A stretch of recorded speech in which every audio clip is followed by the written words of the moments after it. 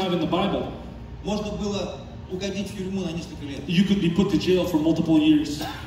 Я помню, когда And I мне было remember 16 лет, when I was 16 и мой дедушка, and my grandpa, который отсидел много лет, who за дело sat for Господа many years Иисуса for the faith in the Lord Jesus, привез маленькую he Библию brought a small Bible и подарил мне. and he gave it to me. И сказал, читай He said, Read this и служи. И and serve him.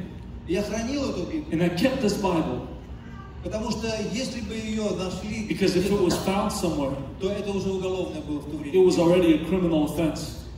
Но я полюбил это слово, But I fell in love with the Word и оно входило в меня. and it entered me каждый день. every day. И когда это время And пришло, when the time мне came, было тогда 39 лет, I was 39 years old at the time когда Господь призвал меня when проповедовать. God Евангелие. called me to preach the gospel. Сегодня я вижу многих молодых Today людей, I see many young people here которые Господь призвал с whom юности, God is calling from a young age в свободе, in freedom когда ты можешь иметь Библию where и you can открыто openly провозглашать the Bible and openly proclaim it, proclaim the gospel of the kingdom, the victory of Jesus Christ over the devil, over sin.